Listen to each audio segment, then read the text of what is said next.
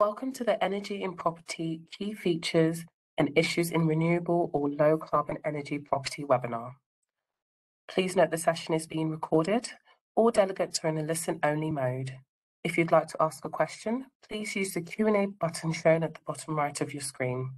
We will try our best to answer these at the end of the session. I would like to introduce our first speaker today, Siobhan Cross. You have the floor. Thank you. Well, good morning, everyone, and thank you very much for joining this webinar this morning. Um, my name, as Liz said, is Siobhan Cross, and I'm a partner in the property team at Pinsent Masons. In July, we published a guide to net zero carbon real estate where we tried to look at the various action strands involved in achieving net zero carbon real estate, very much as we're lawyers from the perspective of showing the legal and policy drivers for net zero carbon real estate and the legal issues and the legal services involved in that journey. It covered the whole life cycle of the building from construction, planning, finance, um, through to the operational phase of a building and the end of life and possible repurposing issues around the end of the life of a building. Um, it included, of course, a section on low carbon and renewable energy and property. And today is the first of two webinars in which we're delving deeper into the issues covered in that guide. And as um, we've said, today's session is on low carbon and renewable energy and property. Um, before I introduce our speakers, I just wanted to touch briefly on the regulatory and policy context that real estate in the UK is operating under in this arena. We know at the top line level, we have a legally binding commitment to reach net zero carbon emissions by 2050 and following parliamentary adoption of the sixth carbon budget this summer, um, a 78% reduction in emissions by 2035 would be required to meet that budget. Real estate has to some extent lagged behind other sectors in decarbonising. Um, the reduction in UK emissions thus far has largely come from the energy sector. I think the transport sector now has a clearer roadmap, um, leaving real estate sector as a big emitter of emissions, but without that clearer roadmap for actually decarbonising energy used in buildings. What we have so far in the regulatory field is largely around energy efficiency and energy use in buildings rather than the source of that energy. Um, and that at the moment comprises of the EPC regime, Energy Performance Certificate regime, um, applicable on sales, lettings, new builds, and um, that energy performance certificate regime underpins the other piece of the jigsaw we have, which is around minimum energy efficiency standards on letting of domestic and commercial property. At the moment, only an EPC-E is required for letting. And we do have some reporting requirements under the Streamlined Energy and Carbon Reporting Scheme, which do require emissions reporting.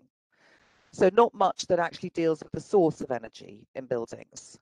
And on the basis of government consultations we've had and announcements, we can see that coming down the road, we are likely to have, or we hope we're going to have improvements in the quality of EPCs. We're going to have a significant ramping up of the requirements for minimum energy efficiency standards on lettings to C grades by 2025 for residential lettings and to B grades by 2030 for commercial lettings. But again, an EPC is looking at the fabric and services of the building and not at the source of energy. And also this year, we've had a consultation on the possible introduction of a performance-based rating for industrial and commercial property, which would apply only to buildings of a thousand, more than a thousand square meters. And the government's preferred metric for that rating um, does indicate that there will be some adverse effect of fossil fuel use in that rating. So we begin to get near the source of energy for a building. Um, one area in which the source of energy for a building is relevant in, in, possible future regulations that the government has signalled is around future home standards and future building standards, which are going to tighten Part L of the building regulations. And the aim of that legislation is not reduction in energy use, um, uh, predominantly, which has been the aim of the other regulations I've talked about, but reduction in emissions. So from that, you can see that the missing part of the jigsaw is any actual requirement for decarbonisation of energy in existing buildings. The Energy White Paper proposes that we will have transitioned to a clean energy system by 2050. The Climate Change Committee in their annual report on progress in June this year heavily recommended the phase out of oil and gas heating by 2028 and asked the government to set clear signals and timeframes for the phase out of gas heating. But we are, of course, still waiting for the missing piece of the jigsaw, the heat and building strategy, which should begin to, I think, tackle decarbonisation of energy in property. Meanwhile, of course, there are other drivers than regulatory ones for the transition to net zero carbon buildings. And today we'll look at those and the options for procuring low carbon and renewable energy. Um, there will be time for questions at the end and you can use the Q&A function on the screen to submit any questions. Um, so now finally to introduce our speakers, I'm delighted that we're joined today by James Constable from Baringa Partners, um, management consultants in um, energy amongst other things. And James will give us an overview of the drivers for and options for low carbon and renewable energy. Uh, James is an expert in decarbonisation, low carbon heating, renewable energy and energy efficiency with over 10 years experience in advising a range of corporates from startups to FTSE 100 companies. Then my colleague Ronan Lamb will look at power purchase agreements. Ronan's a partner in our energy team and specializes in advising renewable developers and lenders and large corporates on a range of electricity offtake solutions, including private wire and corporate PPAs. And he's advised clients such as BT and Orsted and has advised on the largest offshore wind corporate PPA in Europe to date. Then my colleague Rona Kostulin will look at on-site generation.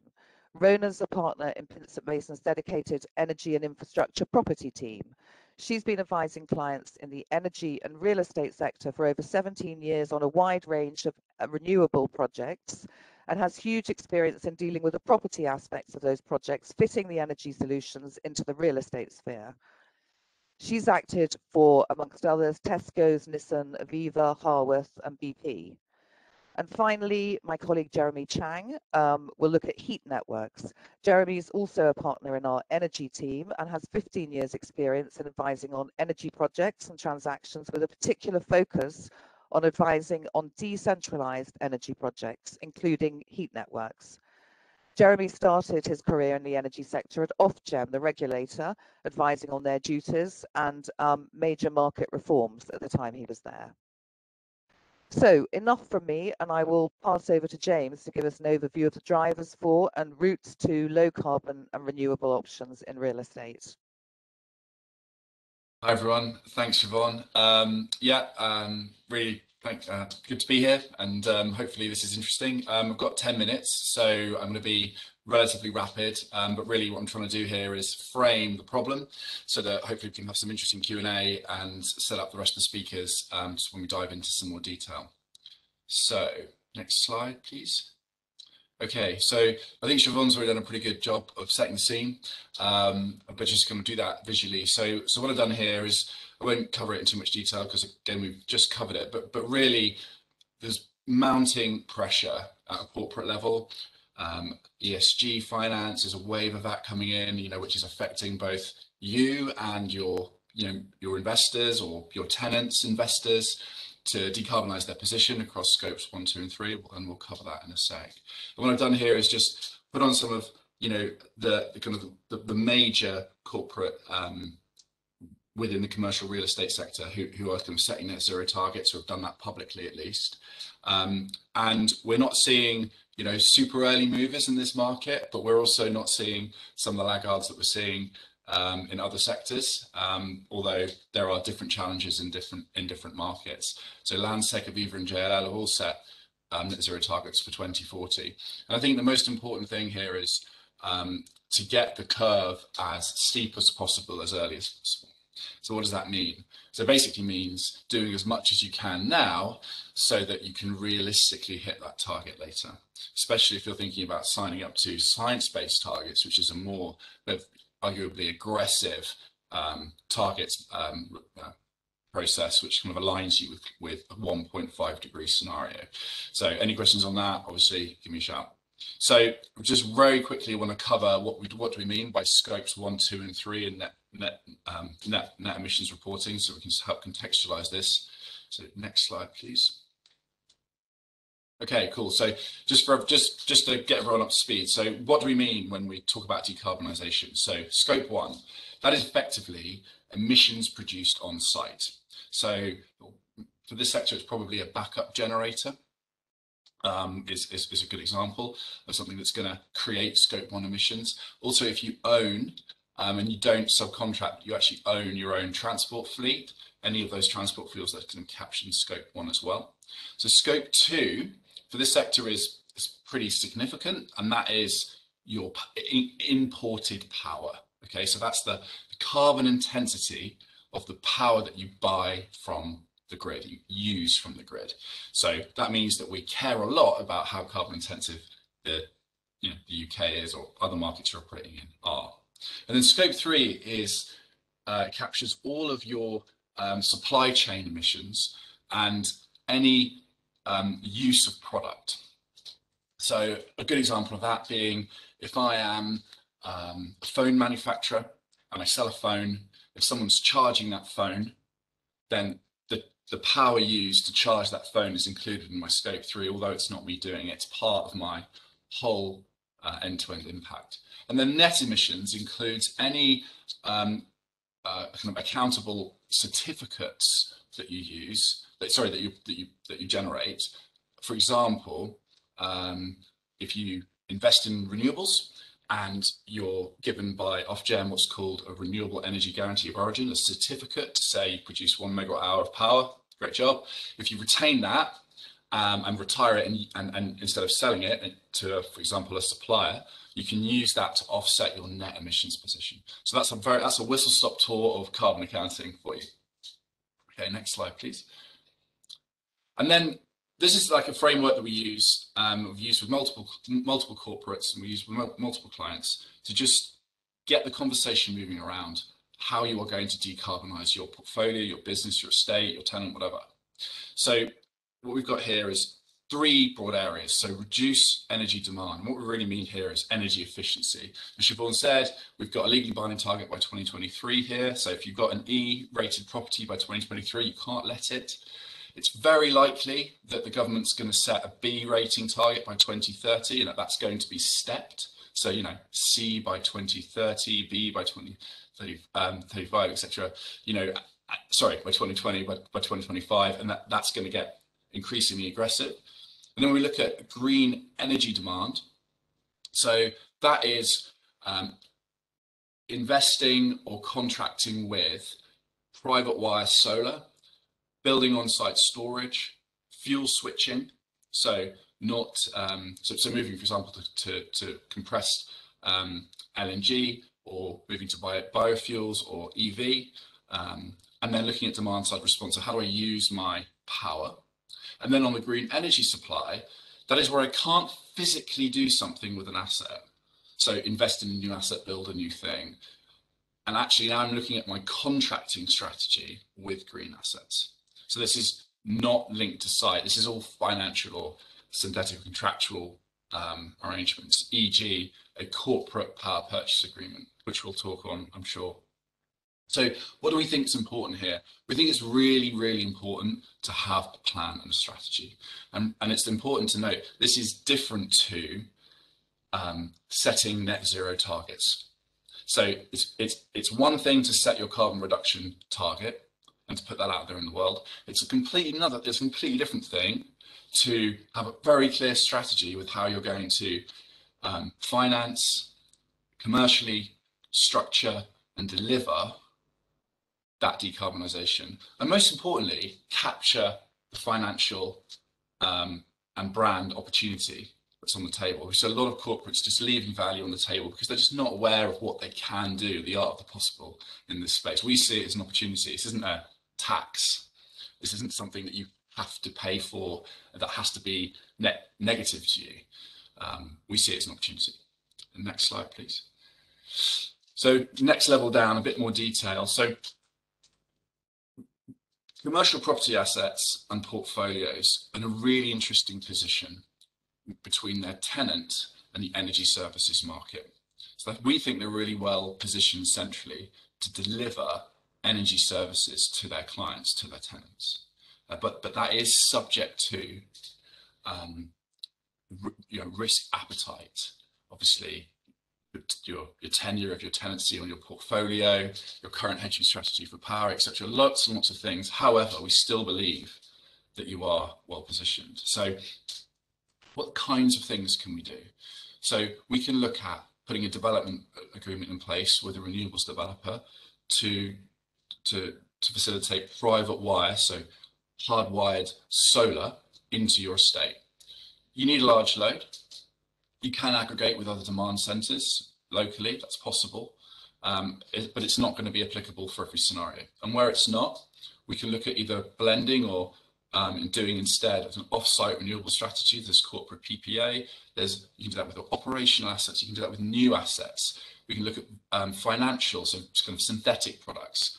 Um, cross geographies, loads to talk about there. And then on the heating side, especially in urban environments, district heating is increasingly an opportunity, we, we believe, for commercial property asset owners, portfolio owners. So um, you know, we do a lot of work with um, district heating developers, and I've worked with one, and happy to talk with that. And we've got Jeremy on the phone as well, so lots of kind of expertise here on, on that. But also outside of urban environments, you know, ground source heat pumps, air source heat pumps, lots of noise in the market, lots of interesting non-commodity policy switching from power to gas, and the counterfactual is going to get more interesting there. Clean transport, so EVs. So you know, why can a commercial property portfolio owner not provide this as a service to tenants, provide this as a service to, you know, for footfall for retail. Um, there's a V2G model there that's really interesting. Ultimately, what we, what we think is this can all run through the existing tenancy agreement. And if you look at what's happening in America, you've got green leases, green tenancy leases. If you look at what's happening in New York, this is how they are bridging in America the gap, which the, there's always been the issue in the sector of how do I make this work? when I have a landlord and a tenant and a tenancy agreement. And I have DLAPs to deal with, I have tenancy negotiations to deal with. How do we make that work? And could a green lease be a way of um, finally unlocking this sector?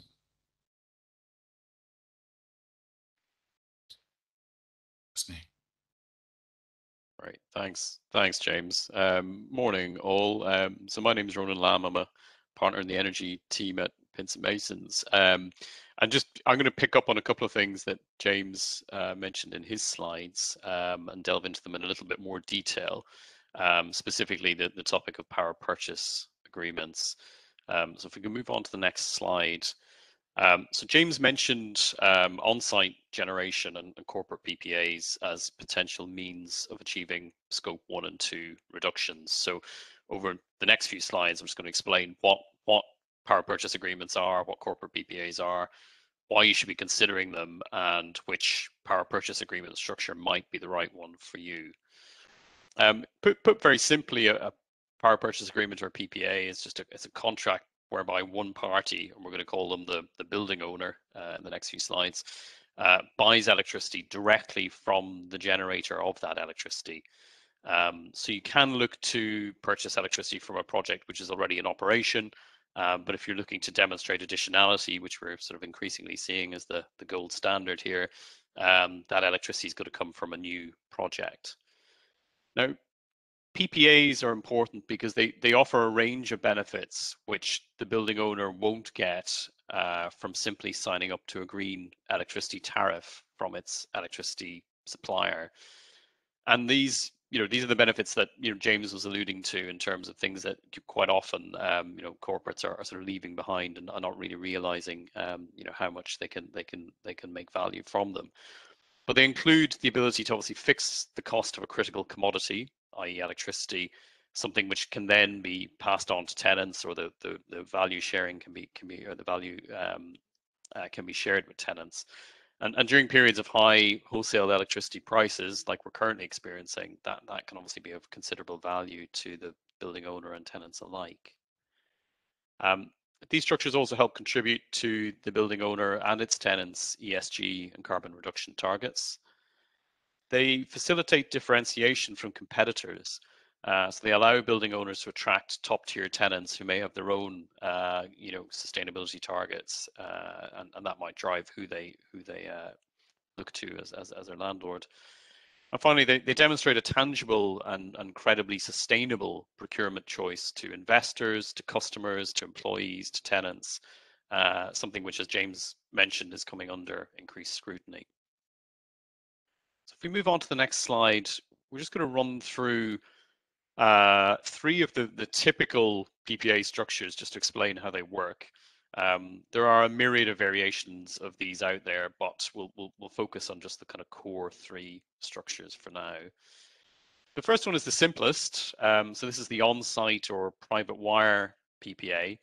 Um, it's the type of structure that's used, for example, where a third party is installing and operating solar panels on the roof of a property, or a wind farm developer is connecting its wind farm directly to the property via private wire.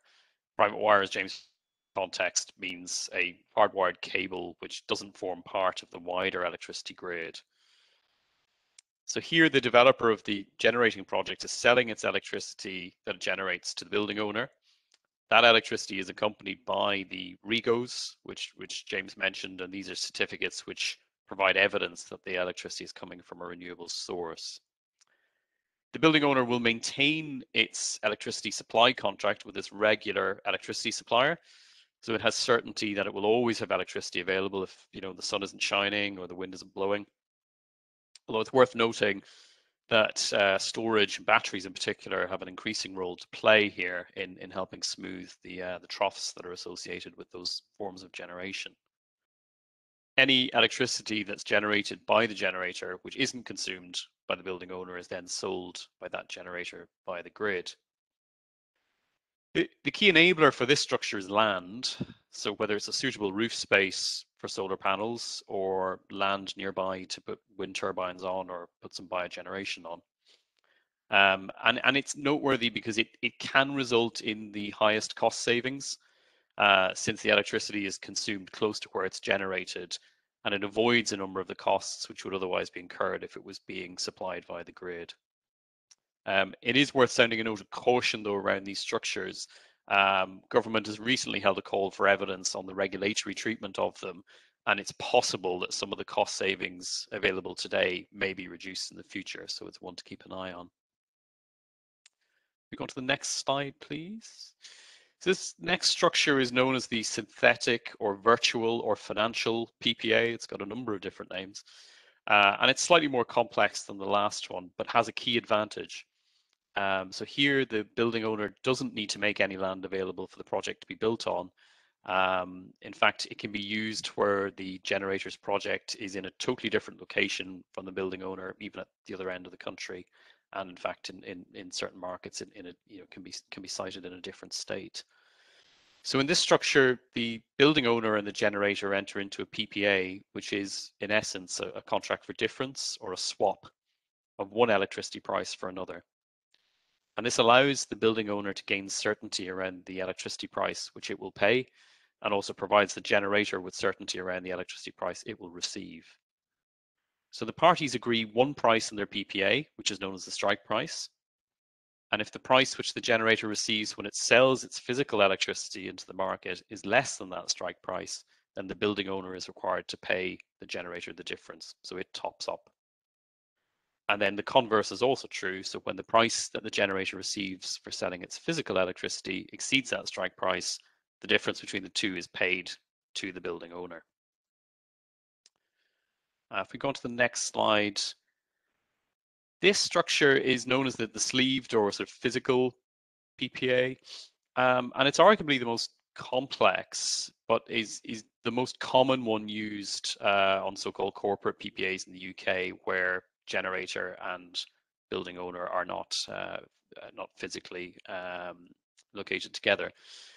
And it works by having the generator and building owner enter into one PPA, whereby the building owner is buying electricity and REGOs from the generator. And that, that electricity and those REGOs are effectively then on-sold by the building owner to its electricity supplier. And the electricity supplier, for a fee, makes that electricity available to the building owner at its various consumption sites through its existing electricity supply contract via a process known as sleeving. So this structure can work particularly well where you have a number of different buildings that are going to need to use the electricity, uh, all buying that electricity from a wind farm or solar park located somewhere else in the, in the country. Move on to the next slide. Yeah, assessing what structure is right for you. There's, there's definitely an exercise to be done, and, and, and I think that the the emphasis we'd place here is is to, to try to do that as early as possible. And and you know e each of the structures that I've mentioned in, in the previous slides come with pros and cons. Um, and, and we would always advise any building owner or any property company looking to you know considering entering into a PPA as part of its energy strategy to sit down early and, and seek the right advice. Um, and we'd usually be pointing them in the direction of James at Baringa or, or, or another, you know, specialist energy markets and strategy consultant uh, who can help them assess, you know, which of these models is likely to deliver best best value for them. Um, it's also fair to say that, you know, as your sort of PPA journey progresses, it's very likely you're going to need some probably some technical advice, some legal and accounting advice on on any structure that you uh, look to implement. So we move on to the next slide. I thought I'd just leave you with some issues that are probably worth considering um, if PPAs are of interest to you, uh, and specifically that that may be of interest to to, to property owners and building owners. Um, the first is term. Um, typically, in our experience, generators are looking for a for a term of the PPA of about 10 to 20 years. Um, the reason for that is it provides this contract is going to provide the generator with the certainty of revenue that they need in order to convince their investors or or, or lenders if they're using debt to provide the capital required to build their project. Um, and as they're going to need to repay that money over the term of the PPA, they're quite often reluctant to grant the building owner rights to break that PPA or reduce the amount of electricity that's purchased over time. Or, or if they do grant those rights, there's going to be a big financial penalty to pay. So that can limit the flexibility which the building owner has to change how it uses that building over time. The second issue to consider is regulation. Uh, regulatory issues are felt most strongly on the private wire and on-site PPA structures because those are using uh, or seeking to take advantage from exemptions from the requirements to hold various types of electricity license. As you can imagine, electricity is highly regulated um, and it's imperative that a, a, regulatory analysis is done early on any private wire or on-site structure to make sure that it fits within the rules the consequences of getting this wrong are, are considerable. Um, supplying electricity without a license or an applicable exemption is a criminal offence, so one to just take a lot of care with. The third is credit support. Um, the generator is totally reliant effectively on the credit of the building owner for all the revenues coming into its project. And even if it's not using external debt to finance that project, in our experience, unless the building owner signing the PPA has a high investment grade itself, uh, it's going to need to put forward a parent company guarantee or letter of credit from an appropriately rated bank uh, in favor of the generator to, to back off its obligation to pay for power. The last point is change of control. Um, so as I've noted already, PPAs tend to be long term. And many generators operate on a model of developing projects and selling them on to other categories of asset holder once they're built and de-risked. So the generators typically want to preserve the maximum flexibility to sell their projects during the PPA term. And there can be tension here with the building owner who has got comfortable with the party it's contracting with and may not want to see that project fall into the hands of certain categories of investor, perhaps its competitors, for example. But equally, on the flip side, um, given the importance of the PPA revenue stream to its project, the generator is likely to have some concerns if the building owner wants to sell its property and transfer the PPA to another counterparty. So in these circumstances, the generator is likely to require any incoming counterparty to the PPA, any any purchaser of the property, to fulfill minimum credit criteria, you know, not be on a sanctions list and not be a competitor of the generator. So there can be a little bit of tension uh, tension there. Um, I'm now going to pass over to my colleague Rona Kostulin, who's going to explain some of the property structures behind the typical on-site and private wire PPA structures that I've mentioned. Thanks very much, Ronan. Um, Yep, so as um, Ronan says, I'm Rona Costellan. I am a partner in the dedicated energy property team at Pinsent Masons. Um, I'm going to cover some of the PPA and lease structures for the installation of on-site electricity generating plant. And then I'll also look at some of the key features of leases with um, on-site generators. So um, firstly, PPA and lease structures. Um, I should start by saying here that I'm not talking about corporate PPAs, which Ronan mentioned, where the electricity is generated at a different location to the location where it's consumed. Um, I'm talking here about private wire PPAs, where the electricity is generated on site, either by the building owner um, or by a separate generator. So um, a building owner may want to install and retain ownership of the plant. And where that's the case, um, there are various potential structures. Um, I've set out some of those structures on the following slides. So if we look at the first one here, um, firstly, in an owner-occupier scenario, the building owner can install the plant and use the electricity that's generated from it and can also then sell any excess onto the grid. Then if we move on to the next slide. And the second slide here shows the same structure, but with occupational tenants in place. Um, so where this is the case, the occupation, where the occupational lease is of the whole of the property, um, the building owner would need to agree a surrender of part and variation to the occupational lease to allow for the installation of the plant. Um, and then they can deal with the supply of the electricity in the lease variation or um, in a separate PPA. Then if we move on to the next slide. The third structure shows the scenario where the building owner sets up a group company SPV and grants a lease to that SPV to allow it to install and operate the plant. Um, that SPV then enters into PPAs with the various occupational tenants to sell the electricity to them. Now, it may be the case that the building owner doesn't want to incur the capital expenditure of installing the plant and um, may not want the responsibility of maintaining it. And so instead may want to contract with a generator who would then install, own and operate the plant. Where that's the case, again, there are various potential structures that can be put in place. Um, I've covered a couple of those on the following slides. So if we could move on to the next slide, thank you. So firstly, where the building owner is an owner occupier, it can enter into a lease with the generator to allow the generator to install and operate the plant. Um, the building owner also then enters into a PPA with the generator for the supply of the electricity. Then if we move to the next slide.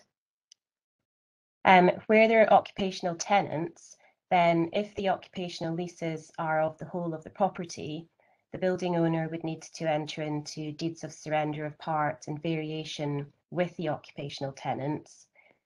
Um, the supply of the electricity onto those occupational tenants could then be dealt with in those variations or in separate PPA documents. And as Ronan mentioned earlier, um, there is a fairly complex regulatory regime um, in relation to the supply of electricity. And this can affect particularly the onward supply of electricity to tenants um, and that does need to be considered when looking to put this type of structure in place. Finally, it's worth mentioning that um, tenants of buildings may want to install electricity generating plant either themselves or by contracting with a generator.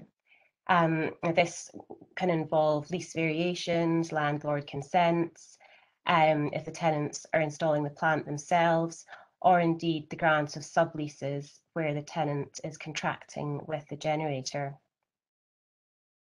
Um, if we move on to the following slide, um, I thought it would be useful just to touch on some of the key features of leases that are put in place with the generators. So firstly, um, the term of the lease, now that tends to be 20 to 25 years, um, but would tend to have break rights or automatic termination contained in it um, because it will go hand in hand with the PPA that it sits alongside. Um, and as Ronan mentioned earlier, those tend to be 10 to 20 years. The, uh, the rent in the leases would typically be a nominal rent. Um, the reason for that being that the building owner um, takes its benefit from the fixed price electricity rather than from any um, commercial rent. In terms of the repair provisions in the lease, um, typically um, where you're talking about rooftop solar, for example, the repair of the roof would sit with the building owner. Um, they would be obliged to keep the roof in a condition that was suitable to support the panels. Um, and then the panels themselves would be the responsibility of the panel owners. You often in the leases um, see an obligation for temporary removal of the equipment um, that can be required um, to allow the building owner to carry out roof repairs or indeed repairs to other parts of the building. Um, in terms of insurance, um, typically speaking, the obligation in respect of insurance for the building itself um, remains with the building owner, and the insurance for the plant is dealt with separately by the generator and owner of the plant. Um, then finally, it's worth just touching on landlord covenants and restrictions. So often the developers or generators will want to restrict what the landowners um, can do um, in and around the building and on land neighbouring the building so that they can protect um, light or wind flow, depending whether it's solar or wind, reaching the, the panels or the turbines. Um, now, owners often don't want to be um, restricted in what they can do, um, and, and that can be dealt with through compensation provisions in the PPA if needs be.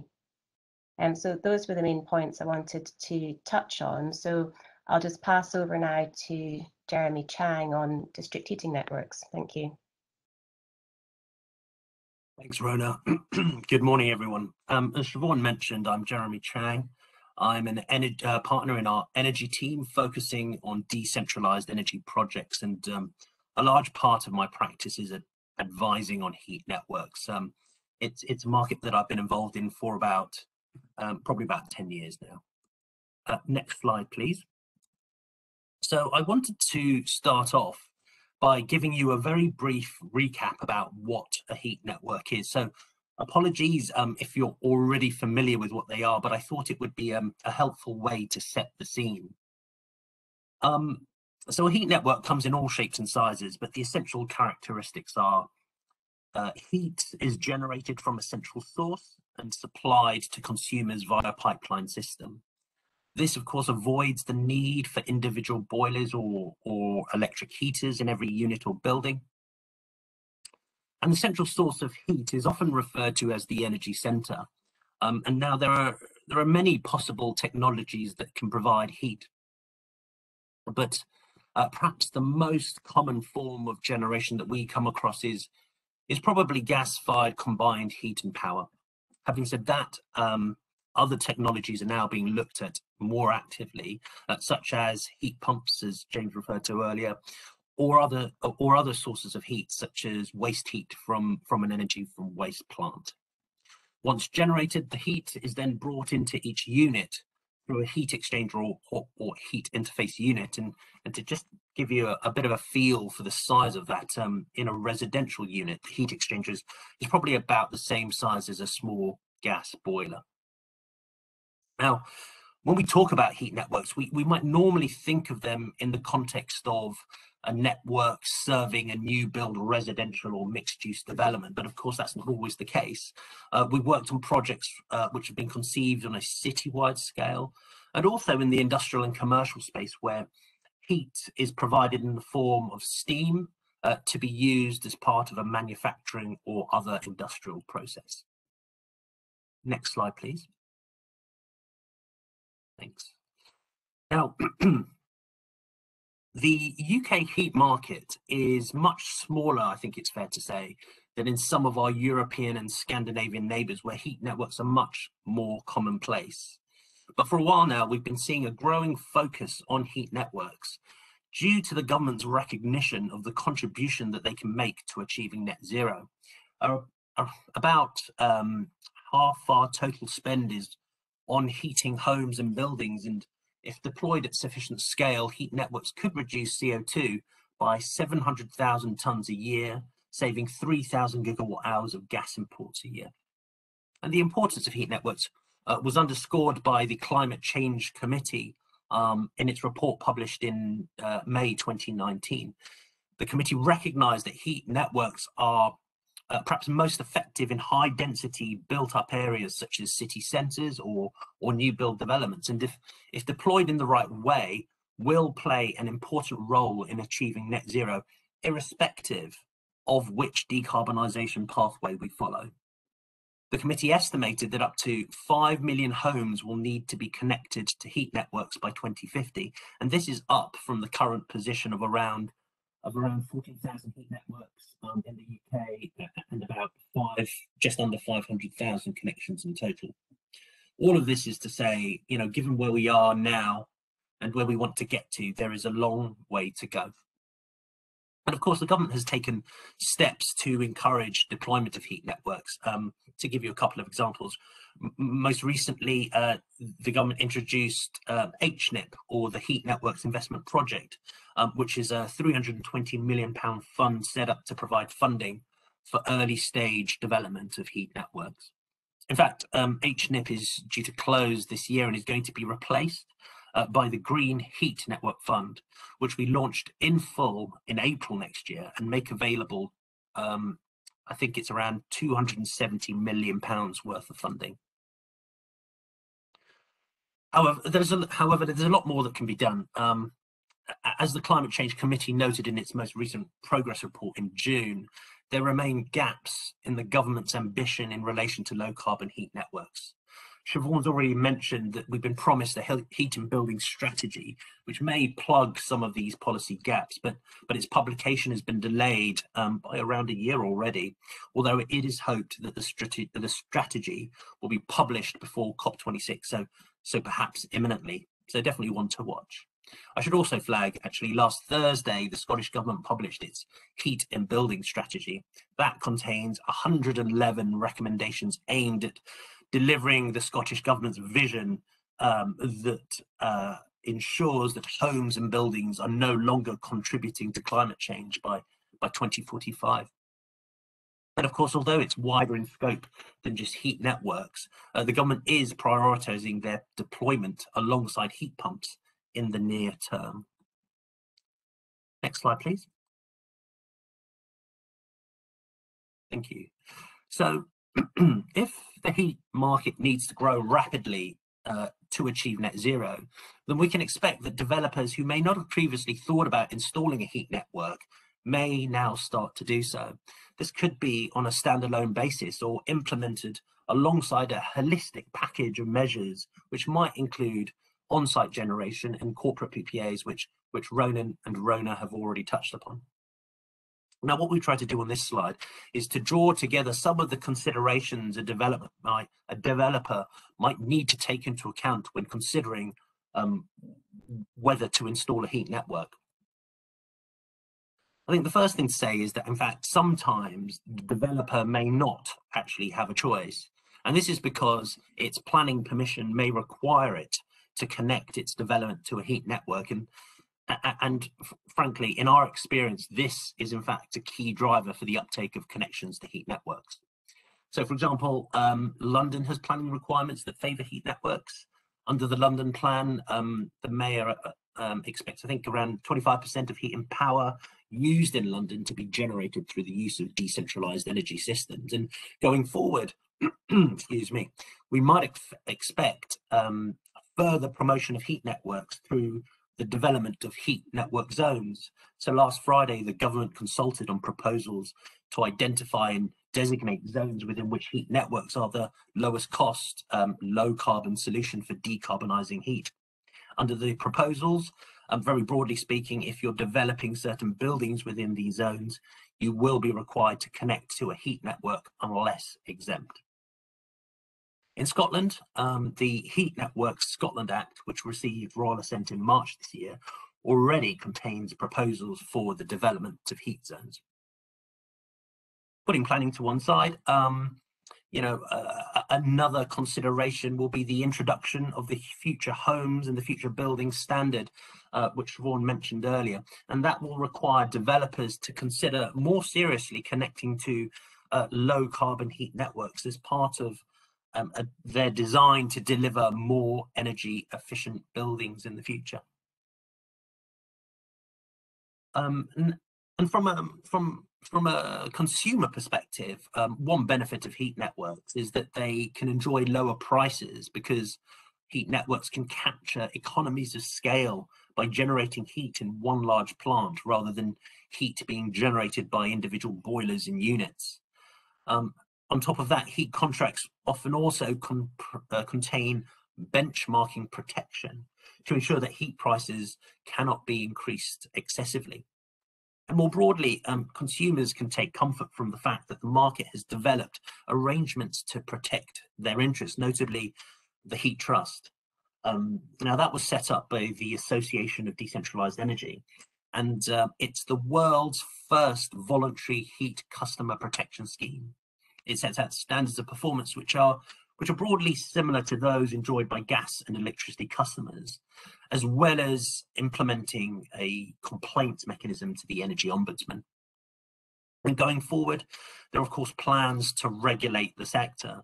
In England and Wales, we're waiting for the government's response to its consultation on the policy options for the development of a regulatory framework Scotland is in fact further ahead. Um, as mentioned before, the Heat Network Scotland Act 2021 sets out a framework for, among other things, um, uh, heat network licenses to regulate behaviours. Um, although uh, I recall much of the detail will, will ultimately be set out in secondary legislation. Next slide, please. Thank you. Um, now, this slide sets out some of the things you might want to think about if you've taken the decision to implement a heat network. Our experience suggests that it's it's important to spend time planning early on so that the network is implemented um, in on time and, and in a coordinated way with with the wider development build out. Now, the thing to remember, implementing heat networks isn't like procuring other utilities such as gas and power they can be contract heavy uh, with no commonly applied standard forms. And as a result, um, we've sometimes found that heat network projects can become complex and can take some time to negotiate. So it's important to build that into your, your timescales. And just to give you a flavor of some of the issues that often come up, um, a key feature of heat, heat network projects is that the the energy service provider or ESCO will require exclusivity to serve the development as as um, certainty of demand underpins the financial viability of the project.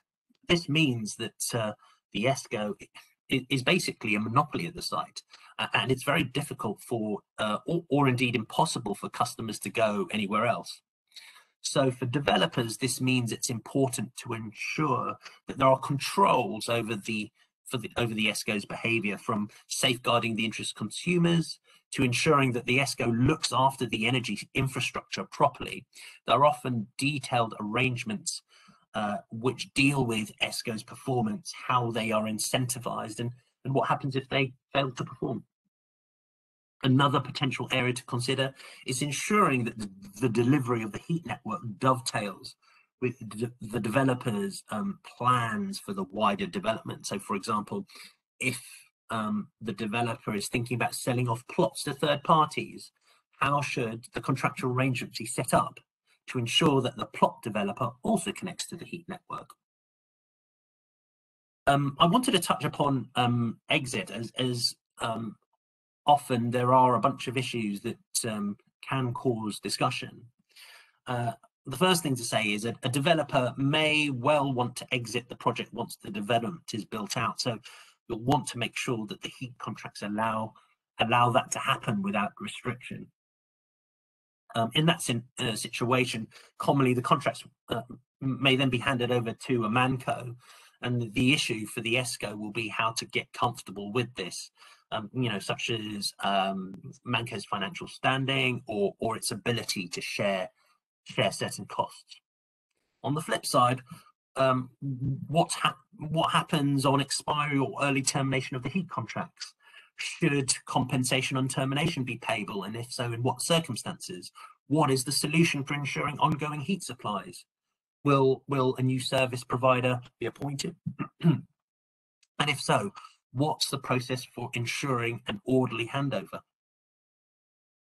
Um, I think that's probably all I was trying to say about heat networks. But if I can perhaps leave you with one final thought, it's that we found that all heat projects are different. Each will have its own specific risks and priorities, uh, and they will all have to be sort of considered in the round and addressed within the contract structure. Um, I'm now going to hand over to Siobhan for the for the panel section. Um, many thanks. Thank you, Jeremy, and thank you to all our speakers. Um, I wondered if I could start with a question for James and maybe Ronan will come in after that. Um, I just wondered what the key issues, the key factors are in deciding if a PPA is the right option for a corporate and how, you know, the, the, the, kind of risk areas, the things to make clear off at, at early doors to make sure that the project proceeds swiftly and without problems. Yes, um, big question. Um, I'll try and be as concise as I can. So um, I think where we've seen it, things go wrong is really in uh, you know, two factors. Where number one, where the counterparty, so in this situation, commercial real estate portfolio, is unclear on their risk position. So what I mean by that is um, what risks you're willing to take on, what you would like to see maybe dealt with via a third party, e.g. a supplier taking on risk and or the, the developer. And those risks are broadly commodity. So who's going to take um, the, the commodity and volume risk? Then there's the shape risk. So renewables don't, you know, produce power um, uh, in a perfect way, right? They're, they're intermittent. So you're not going to get base perfect baseload power. So there's an element of shape risk. So the supplier, usually or often, will kind of help um, hedge that out for you. But sometimes you need to take some of that risk on. There's imbalance risk as well. So who's who's going to be out um, out of pocket if, um, if, if, if again if we aren't if we aren't perfectly hedged or things don't go according to plan, and then the regulatory risk as well. So if for exchange, etc. So so that's that's the, the, there are the kind of the broad categories of risk that you have to really think about when using corporate risk. That's one element. And the other element really is the developer and development itself. So um, how um, you know what's its what's its route to market for finance? Um, how credible is the developer? Track record. Um, just are you going to work well with them? Uh, you know, it's some of the you know, more human side of of the deal. So we we do a lot of work on the so strategy um, kind of getting that aligned, and then um, and then kind of overseeing the commercial advisory on on the implementation of that as well. Does that kind of answer the question? Yeah, absolutely. And Ronan, I don't know if you had anything to add to that. I mean, I would I'd echo what James is saying. I mean, again, think, thinking about where we've seen things not go necessarily according to plan, eh, it's probably been in two areas. One, the the the, the internal sort of stakeholder education and mapping piece for for the energy consumer. So you know, lo- looking at who who are you going to need ultimately to sign off on this structure, who's going to need to be comfortable with it. Um, you know, if you've got C-suite support, that that tends to smooth things through, and the most successful structures we've seen have tended to have a, a CFO or someone like that, you know, lend, lending their support and being quite involved. And then the other piece is absolutely the diligence piece around the underlying project that you're looking at. You're looking at contracting with. Um, you know, as, as, James said, you know, are, are you talking to a credible developer? Have they have they done this type of thing before? Have they got reference projects that they can they can point to? Um, because it can be very disappointing to sort of get quite far down the line with a developer having negotiated a PPA only for that project to you know maybe not get planning or something like that which can you know just put you on the back foot and maybe put you off these structures uh, for, for a long time. So i think diligence external diligence and your own internal sort of stakeholder mapping piece are are, are critical. Yeah. Thanks thanks both. And rona i wondered if i could ask you you talked about um, on-site energy projects possibly restricting a property owner's freedom around what they could do with their property and i just wondered if you could say anything about ways around that problem? Mm-hmm. Yeah, I mean, this can be a point of contention because obviously um, building owners are, are keen to maintain flexibility and to be able to do what they need to do and want to do um, with regard to that building and also um, neighbouring land, whereas the developers um, will be keen to protect the, the sunlight or the wind that's reaching the, um, the plant. Um, and um, where the building owner really is keen to keep that flexibility, um, then you can set up um, compensation provisions through the PPA document. So, for example, have minimum purchase amounts which apply regardless of um, whether the, the plant has been affected or not. So there's certainly there are ways around it and there are ways of ensuring that building owners can maintain complete flexibility in what they can do with their building going forward. Great, thank you so much. And I think I've got time for one final question, and it, probably for James, but please anyone else feel free to answer. I just wondered if you could um, comment on the things we've discussed today in the light of the current sort of energy pricing crisis that we're seeing and whether that creates a further driver or is a is a reason for pausing on any energy projects people are thinking about um, massive another massive question so yeah, that's sorry. Fine. so um it, it really depends what you're doing so if you took an example right so if you're building a say 30 megawatt private wire solar farm okay, into a large shopping centre or something like that. So a private wire project. Um, your counterfactuals, the economics you're, uh, built around that project are the avoidance of the non-commodity element of um, power. So roughly 60%, right? Um, well, previously 60% of, um, of, of the what we call the retail cost stack.